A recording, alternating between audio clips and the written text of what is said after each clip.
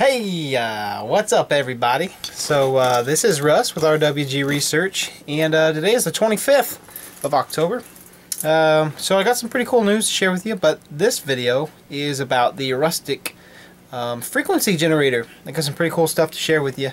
So um, that's what I'm going to do right now and then more later uh, more later videos there will be, yeah. Anyway, uh, so yeah, um, I'm going to get started. So uh, the Russtic frequency generator, you guys saw me post that online um, a good month ago. And uh, it's a pretty cool deal. I didn't get the output circuit finished.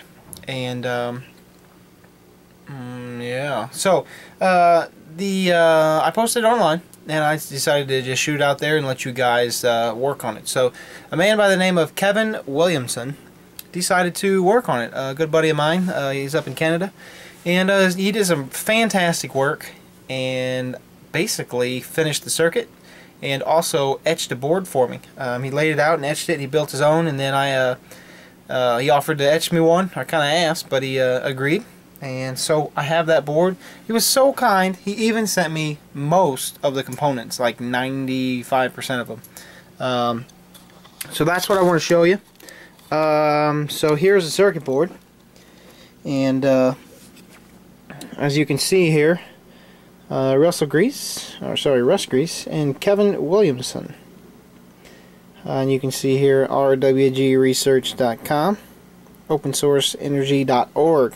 That's where you need to go if you guys want to find out uh, more about this. But uh, yeah, there's the circuit, and um, he just did a wonderful job. And I must say, uh, Kevin, you are much better at drilling holes than I am in these printed circuit boards. Um, mine are kind of sloppy. Yours looks fantastic.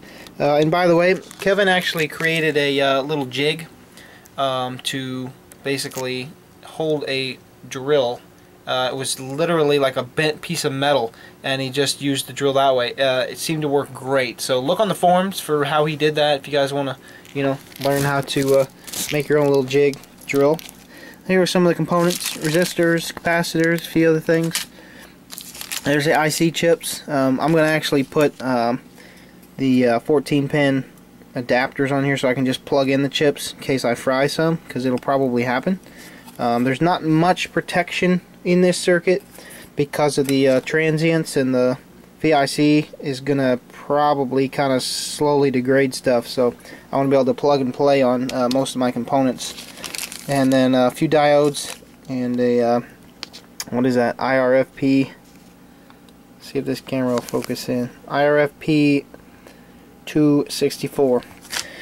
So yeah, I just wanted to kind of show you guys that. That is fantastic. He did uh, just an amazing job. Um, he actually learned to use photo paper as the um, uh, way to transfer the toner from the uh, laser printer. So if you guys don't know how to do that stuff, um, I did post a video a while back of building my power supply and I showed how I etched the circuit boards. He did the same manner. You have to use a different paper. He used like photograph paper. It worked really well. It transferred real well. So uh, this is on a new camera uh, that was donated to me.